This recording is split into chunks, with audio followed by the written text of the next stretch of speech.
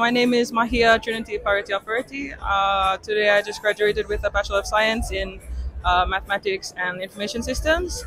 Uh, today I won four awards. Uh, gold medal for the most outstanding graduate in STEM, uh, certificates for uh, Mathematics and Information Systems, and the most outstanding female graduate from undergraduate from STEM.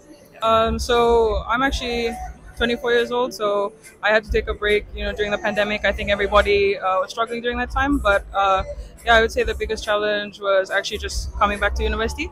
Um, but I am so thankful to uh, the Lord and also to my family and my um, teachers and lecturers uh, for pushing me through the last three years.